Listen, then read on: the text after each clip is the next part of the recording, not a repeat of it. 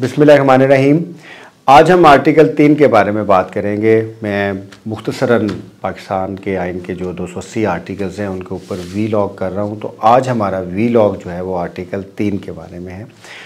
Article तीन जो है, उसके बुनियादी तौर पे दो हिस्से हैं। पहला हिस्सा एक्सप्लाइटेशन के ऊपर बात करता है कि एक्सप्लाइटेशन पाकिस्तान में किसी किस्म की नहीं होगी। किस मर्ज़ी फॉर्म में एक्सप्लाइटेशन हो, चाहे वो इकनॉमिक एक्सप्लाइटेशन हो, चाहे वो पॉलिटिकल एक्सप्लाइटेशन हो, चाहे वो इंतज़ामी एक्सप्लाइटेशन हो, या वो इंडिविजुअल्स के लिए हो, या मुख्तलिफ़ कम्यूनिटीज़ के लिए हो। एक्सप्लाइटेशन किसी भी फॉर्म में पाकिस्तान में नहीं हो सकती। ये कॉन्स्टिट्यूशनल ऑब्लिगेशन है इंतज़ामिया के लिए लेजिस्लेचर के लिए जुडिशरी के लिए कि वो एक्सप्लाइटेशन से आम शहरीों को इनफरादी तौर पे और इजतमाही तौर पे महफूज रखें।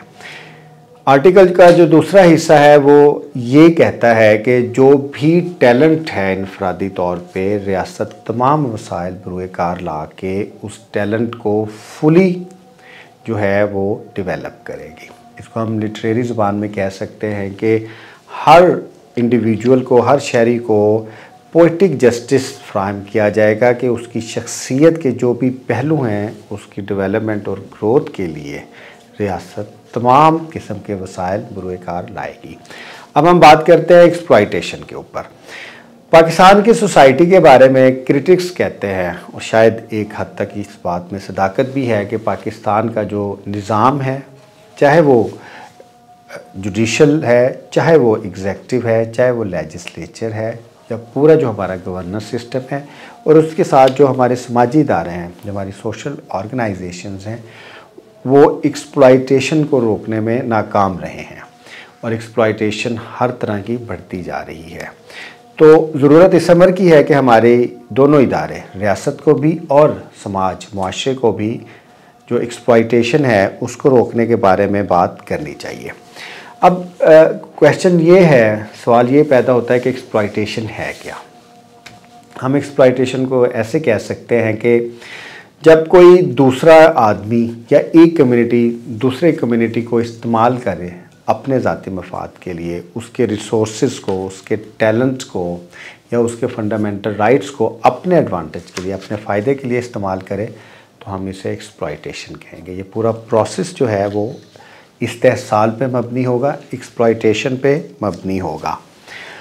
अगर हम ह्यूमन नेचर की बात करें ह्यूमन नेचर जो है वो बुनियादी तौर पे ह्यूमन डिग्निटी पे खड़ी है। हर इंसान डिग्निफाइड है, वो डिग्निटी रखता है और उस डिग्निटी को कायम रखना माशरे के लिए, अफराद के लिए और उस शख्स के लिए बहुत ज़्यादा ज़रूरी है। इसलिए अगर हम अपनी डिग्निटी का ख्याल रखेंगे और दूसरों की डिग्निटी का ख्याल भी रखेंगे तो हम एक्सप्लाइटेशन नहीं करेंगे। एक्सप्लाइटेशन अमूमी तौर पे एक मनफी रवैया है और एक्सप्लाइटेशन उस वक्त की जाती है जब इनफरादी तौर पे या कम्युनिटीज़ इजतमाही तौर पे अपने टैलेंट और अपने वसाइल की बजाय दूसरी चीज़ों पे जाती हैं। अब हम पाकिस्तान के तनाजर में, क्योंकि एक सोशल कॉन्ट्रैक्ट आइन होता है और उसमें पॉलिटिकल रेमिफिकेशंस और पॉलिटिकल जस्टिफिकेशंस देना होती हैं, उस तनाजर में बात करेंगे। पाकिस्तान क्योंकि एक फेडरेशन है और एक फेडरेशन में बहुत सी कम्युनिटीज़ आबाद हैं तो उनकी आइडेंटिटीज़ से लेके उनके इकनॉमिक इंटरेस्ट तक बाकायदा मफादात रियासत के समाजी माहे के साथ जुड़े हुए हैं।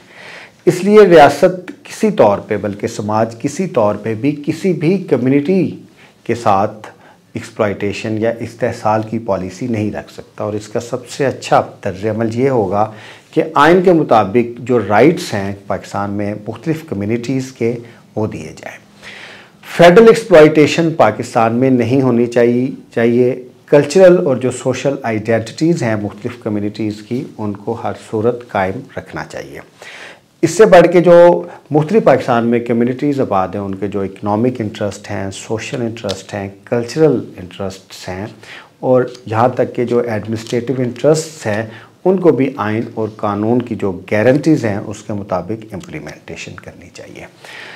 ज़्यादा ज़रूरत इस अमर की है कि जो रियाती इदारे हैं, जो गवर्नमेंटल ऑर्गेनाइजेशन हैं, चाहे मुकन्ना है, चाहे इंतज़ामिया है, चाहे अदलिया है, उन इदारों में एक्सप्लाइटेशन को ना सिर्फ़ ख़त्म किया जाए, बल्कि उनका रोल एक्सप्लाइटेशन को ख़त्म करने के लिए भी अहम से अहम होना चाहिए। और हमारे रियाती इदारों को, हमारे गवर्नमेंट के इदारों को, हमारे इंतज़ामिया के इदारों को एक्सप्लाइटेशन नहीं करनी चाहिए। एक्सप्लाइटेशन लेजिस्लेशन से शुरू होती है। सबसे पहले हमारी लेजिस्लेशन ऐसी होनी चाहिए जो एक्सप्लाइटेशन पे ना हो। फिर उसकी इम्प्लीमेंटेशन या जो इंतज़ामिया इम्प्लीमेंट करती है या जो डेलीगेटेड लेजिस्लेशन या एग्जेक्टिव लॉ है, उसको भी डिस्क्रिमिनेटरी नहीं होना चाहिए। उसकी भी एक्सप्लाइटेशन नहीं होनी चाहिए। और अदलिया को भी इंतज़ामिया और मुकन्ना के बनाए हुए कवानीन को इस लिहाज से उनकी तशरी करनी चाहिए या आर्टिकल 199 या 184 के तहत इम्प्लीमेंट करना चाहिए कि एक्सप्लाइटेशन ना हो और जो पब्लिक इंटरेस्ट है, उसकी गारंटी इंश्योर की जा सके। जब हम रियासती तौर पे बात करते हैं या ऑर्गेनाइजेशनल पब्लिक ऑर्गेनाइजेशंस की बात करते हैं तो उसमें एक्सप्लाइटेशन काफ़ी हद तक कम हो जाती है ख़ास तौर पे लेजिस्लेशन हाँ इम्प्लीमेंटेशन में इश्यूज़ रहते हैं, लेकिन जो एक फ्रेमवर्क है, एक स्ट्रक्चर है, या जो एक कानून की तकसीम है, या जो डिस्ट्रीब्यूशन ऑफ़ लॉ है फिर इम्प्लीमेंटेशन ऑफ़ लॉ है। जितने भी इंतज़ामी साख्ते हैं, वो एक्सप्लाइटेशन के ऊपर नहीं खड़ी। पाकिस्तान का लॉ बुनियादी तौर पर एक्सप्लाइटेशन पे नहीं है। यहाँ तक कि फंडामेंटल राइट्स की बात करें, पूरे कॉन्स्टिट्यूशन स्कीम की बात करें तो बहुत फेयर है। हाँ पाकिस्तान में इम्प्लीमेंटेशन का मसला है। पाकिस्तान में कानून जो है, उसकी इम्प्लीमेंटेशन इस तरह की जाती है कि जो मार्जिनलाइज्ड कम्युनिटीज़ हैं या अफराद हैं, वो एक्सप्लाइटेड फील करते हैं, बल्कि उनकी एक्सप्लाइटेशन भी होती है। इसके साथ अगर हम समाजी रवैये की बात करें, क्योंकि हम एक सोशल एनिमल हैं तो हम हम एक पॉलिटिकल कॉन्ट्रैक्ट या समाजी माहे के तहत रियासत के साथ वाबस्ता है। दूसरा, हम समाज के अफराद के तौर पे समाज के दूसरे अफराद अफराद के साथ भी वाबस्ता है, जिसके ऊपर लीगल जो हैं कंटेंशंस खड़ी नहीं होती। वो हमारे समाजी समाजी रवैये हैं। उनमें भी हमें कोशिश करनी चाहिए कि हम एक्सप्लाइटेशन ना करें। ह्यूमंस आर डिग्निफाइड उनकी डिग्निटी है और जो एक्सप्लाइटेशन है, वो बहुत ही बुरा तर्ज अमल है। किसी भी इंसान की, ग्रोह की कम्युनिटी की जो एक्सप्लाइटेशन है, उसको किसी तौर पे भी इंडोर्स नहीं किया जा सकता। और जो आर्टिकल तीन है, उसकी जो स्पिरिट है कि एक्सप्लाइटेशन नहीं होनी चाहिए एक्सप्लाइटेशन समाज के इदारों को या रियासत के इदारों को नहीं करनी चाहिए। और उससे बढ़ के इंसान की जो डेवलपमेंट है और जो ग्रोथ है और जो इक्वल अपॉर्चुनिटीज़ चाहिए, उसके लिए भी रियासती और समाजी इदारों को काम करना चाहिए। उस वक्त तक हम काम नहीं कर सकते जब तक हम हर शख्स को, हर सिटीज़न को पोइटिक जस्टिस फ्राहम नहीं करते, जिसके ऊपर उसकी शख्सियत कायम है। उसके खेल के, आर्ट के, करियर के दूसरे जो उसकी नेसेसिटीज़ हैं, उनको रियासत पूरा करे। अगर हर फर्द अपने पूरे पोटेंशल पे काम करेगा, अगर रियासत के इदारे, समाज के इदारे, हर शख्स को उसके पूरे पोटेंशल के मुताबिक डेवलप करेंगे तो ना सिर्फ़ समाज तरक्की करेगा बल्कि रियासत भी तरक्की करेगी, क्योंकि रियासत के इदारों का ताल्लुक बुनियादी तौर पे समाज के सबसे बड़े इदारे माशरे के ऊपर है। अगर माशरा तरक्की करेगा, जब इंडिविजुअल्स तरक्की करेंगे माशरा तरक्की करेगा। जब माशरा तरक्की करेगा तो फिर रियासती इदारों को भी तरक्की करना होगी। इस लिहाज से आर्टिकल तीन बहुत अहम है, और और जो रियासती इदारों को, और जो हमारे समाजी इदारों हैं, इदारे हैं, उनको आर्टिकल तीन को इम्प्लीमेंट करना चाहिए।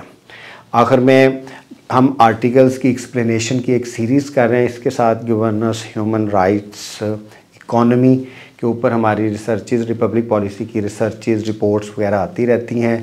तो प्रैक्टिकल इंसाइट के लिए आप हमारा चैनल जो है वो लाजमी सब्सक्राइब करें। उम्मीद है आप हमारा प्रोग्राम देखते रहेंगे। आपका बहुत शुक्रिया। Thank you very much